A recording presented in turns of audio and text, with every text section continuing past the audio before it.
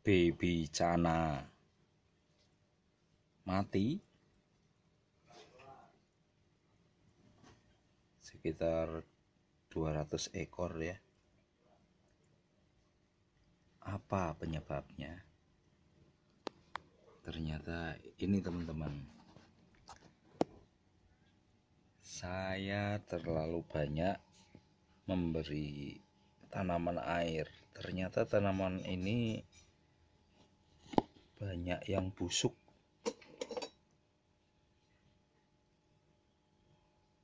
Nih ya. Kebusukan ini ya akan menyebabkan banyak amonia di airnya. Akhirnya saya ambilin terus nanti ganti air aja. Ini sisa baby cana asiatica yang masih hidup ya lumayan lah masih ada sekitar 100 lagi. Ya. Ya semoga nanti berhasil. Terus ini ada sebagian yang masih hidup juga nanti saya pindahin juga.